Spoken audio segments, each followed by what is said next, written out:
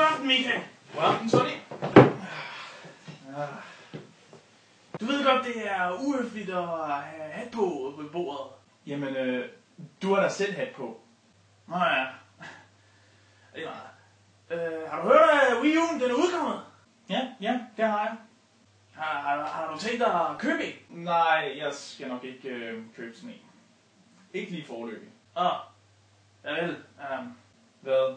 Hvad er der? Nej, nej, nej, nej, nej, nej, nej, nej. Der, der er ikke noget, der er ikke noget, der er ikke noget. Okay, det der fjes, det nager du mig altså ikke med. Der er et eller andet, der er et eller andet, du har gjort. Ja, altså... Hvad? Hvad fuck? Hvor, hvor, hvor har du det fra?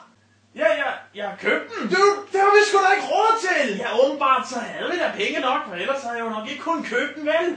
Hvad så med mad? Hvad, hvad, hvad har du tænkt med mad? Men vi, vi kan da i hvert fald spise afgrød, jo. Ej ja. Det skulle da bære nok. Og Hvad, hvad, hvad så? Du, du købte premium edition. Hvorfor det premium? Jeg ved da ikke, hvorfor jeg købte Premium Edition, altså. Det... Alle andre købte den. Hvor fedt, ja. Fedt nok. Hvad, hvad, hvad er der ellers? Hvad med spil? Altså, er du spil til den, eller hvad? Jamen, der er Nintendo Land på. Nintendo Land, Nintendo Land.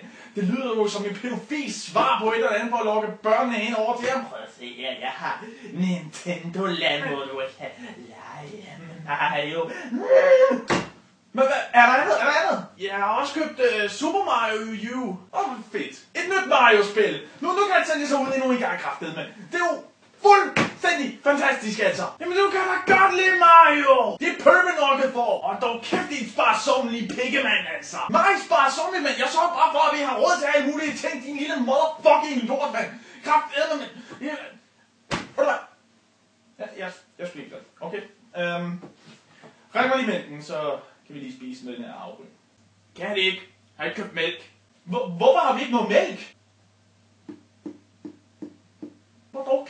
Immer vertest dich mal, wer kann heute mal die dumme Komm, aber ja! Ja, kann kann bin Supermarkt! Fuck yeah! Ganzer! Haha!